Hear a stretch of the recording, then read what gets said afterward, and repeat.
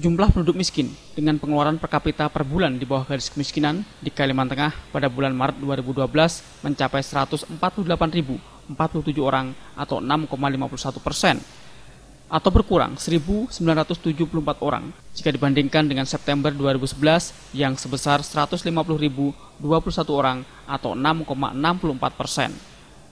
Selama periode September 2011 hingga Maret 2012, penduduk miskin di daerah perkotaan bertambah sekitar 4.098 orang dari 28.288 orang pada bulan September 2011 menjadi 32.386 orang pada Maret 2012. Sementara di daerah pedesaan mengalami pengurangan 6.072 orang dari 121.733 orang pada September 2011 menjadi 115.661 orang pada Maret 2012.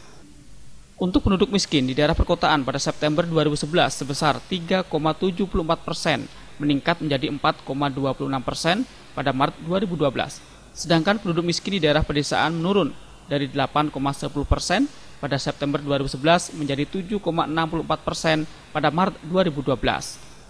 Sedangkan komoditi makanan terhadap garis kemiskinan masih jauh lebih besar dibandingkan peranan komoditi bukan makanan seperti perumahan, sandang, pendidikan, dan kesehatan.